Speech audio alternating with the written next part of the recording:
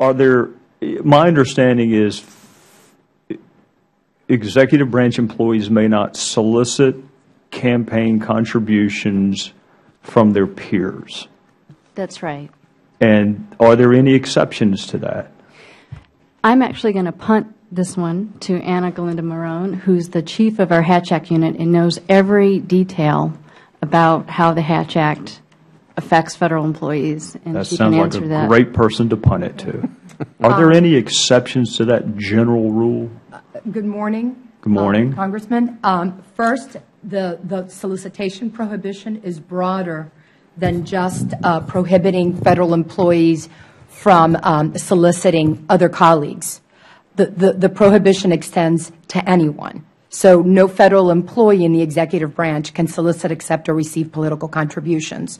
The one exception concerns uh, Federal labor organizations and Federal employee organizations. That's what I thought.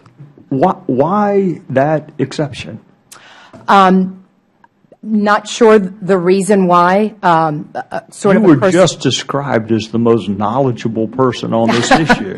If you can't tell me why there's an exception for federal labor organizations, who can I ask?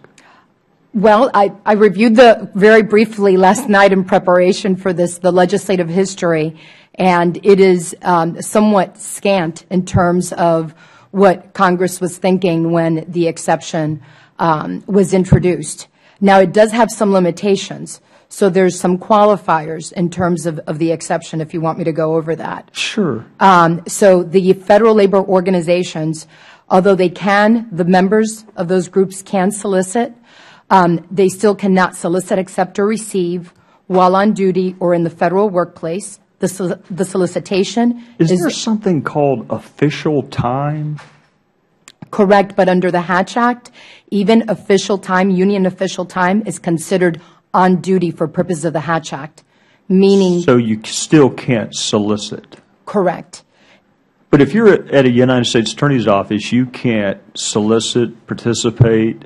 Can you show up at a political event after hours? After hours, any federal employee can attend a political event. Can their name be on a host committee? They cannot, including, so, so what I was going to explain was that in terms of the union exception, Um, the solicitation is only specific to the union's PAC and cannot be directed at anyone that's a subordinate. So in terms of, let's say, a fundraising event where there's a host committee, typically even union members will not be able to be listed as a member of the host committee. I'm still trying to understand why there would be an exception for federal labor organizations. Could you hazard a guess? Um, I could, I, I could try to hazard a guess if I did some more research and